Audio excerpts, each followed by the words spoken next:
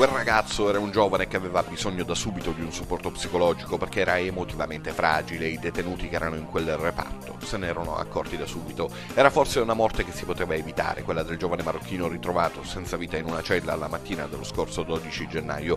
Ne è convinto un gruppo di detenuti nel carcere di Brindisi che ancora una volta carta e penna ha scritto alla redazione di Antena Sud descrivendo quello che accade nella casa circondariale di Viappia, meglio quello che accadrebbe. Come già spiegato in passato, l'impossibilità per noi giornalisti di visitare il carcere rende complesso, praticamente impossibile, verificare la veridicità di quanto contenuto anche nell'ultima missiva datata 13 gennaio, ovvero il giorno dopo il tragico avvenimento. Eppure, scrivono i detenuti, solo 5 giorni prima la morte del marocchino, detenuto per essere stato sorpreso su un mezzo pubblico senza biglietto, sempre nella sezione isolamento un altro ragazzo avrebbe tentato di farla finita utilizzando i lacci delle sue scarpe. Avrebbe perso i sensi per poi essere condotto in ospedale. Salvo per un pelo, scrivono i detenuti, che precisano come non si tratti di casi isolati, ma all'ordine del giorno.